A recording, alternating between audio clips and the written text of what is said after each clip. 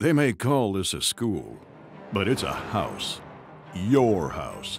When things boiled over in the chemistry lab, you were Dr. Disaster. Repeat after me, class. Boo-yah. These halls are your halls of fame, brother. But the walls can be tough, because the walls have lockers, and lockers have locks. With combinations, you have to change every last one.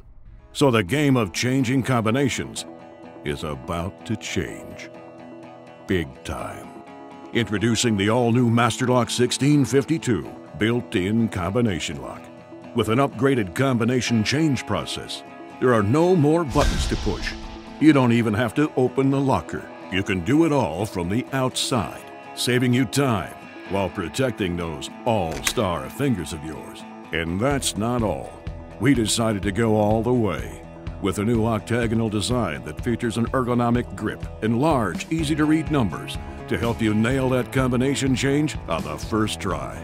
From now on, you can change out those combos faster and easier than ever with the new Master Lock 1652 built-in combination lock. It's the best in the game, hands down.